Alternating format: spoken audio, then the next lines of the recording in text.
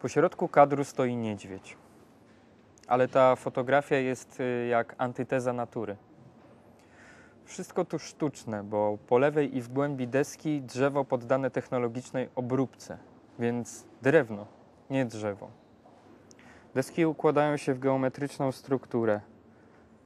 Rytm wyznaczają poziome i pionowe belki wystające nieco ponad powierzchnię ścian. To nie naturalny układ, tylko robota rzemieślnika, wykonana przy użyciu metra, ekierki, piły, młotka i gwoździ. W głębi, na jasnym tle ściany, odcina się czarny prostokąt okna, a w nim białe pręty krat. Zamiast gołej ziemi podłoże z betonu.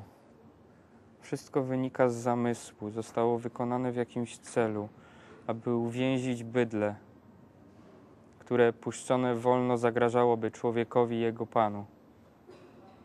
Wszystko tu przypomina porzućcie nadzieję. Tematem tego zdjęcia nie jest prowincjonalny zwierzyniec w latach dwudziestych ubiegłego wieku, jego pedagogiczna czy naukowa funkcja, ani tym bardziej samo zwierzę. Tu chodzi o samotność, o zniewolenie.